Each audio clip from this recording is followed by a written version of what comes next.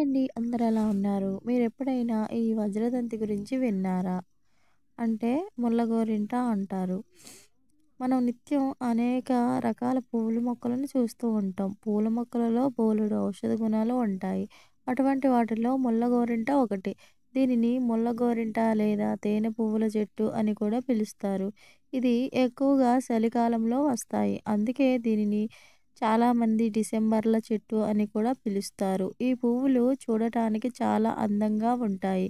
ముల్లగోరింట మన ఆరోగ్యానికి ఎటువంటి మేలు చేస్తుందో ఇప్పుడు తెలుసుకుందాం. ముల్లగోరింట ముల్లగోరింటను వజ్రదంతి అని పిలుస్తారు. ఎందుకంటే ముల్లగోరింట వేర్లతో పళ్ళు తోమడం వలన పళ్ళు తెల్లగా మెరిచిపోతాయి దీనిని సంస్కృతంలో వజ్రదంతి అంటారు. పళ్ళను వజ్రాల్లా మెరిసిపోయేలా చేస్తుంది. కాబట్టి దీనికి వజ్రదంతి అని పేరు వచ్చింది. అంతేకాకుండా దంత సమస్యలను తొలగిస్తుంది. ఈ చెట్టు ఆకులను ఉప్పు కలిపి మెత్తగా నూరుకోవాలి. ఈ మిశ్రమంతో పళ్ళు తోముకుంటే దంతాలపై ఉన్న గార, పసుపు పోయి దంతాలు తెల్లగా మెరిసిపోతాయి. సిగుళ్ళ నుంచి రక్తం కారడం, సిగుళ్ళ వాపులను తగ్గిస్తుంది. ఇది అన్ని రకాల పంటి సమస్యలను నివారిస్తుంది. ఈ ఆకులను ఓ గ్లాసు నీటిలో వేసి బాగా మరిగించాలి. తర్వాత వీటిని వడగట్టుకుని నీటితో నోరు పుక్కిలించుకున్నట్లయితే నోటి దుర్వాసన పోతుంది. అల్సర్ తగ్గిస్తుంది. ఇది చక్కటి మౌత్ ఫ్రెషనర్గా పనిచేస్తుంది. ఈ చెట్టు బెరడును సేకరించి దంచి పొడి చేసుకోవాలి.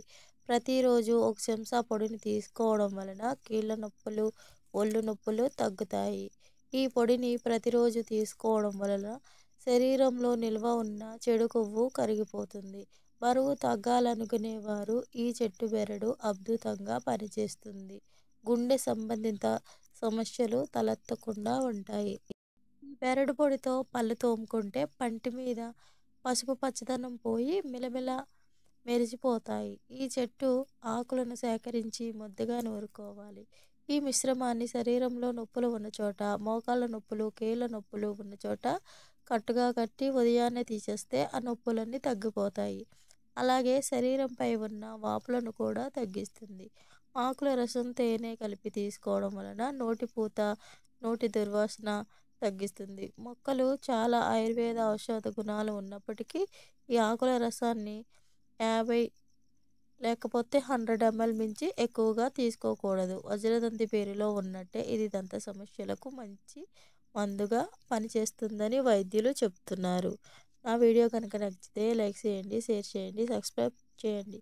Thank you for watching. ఇలాంటి మరిన్ని వీడియోలతో మళ్ళీ కలుసుకుంటాను. అంతవరకు సెలవు. నమస్కారం. Bye bye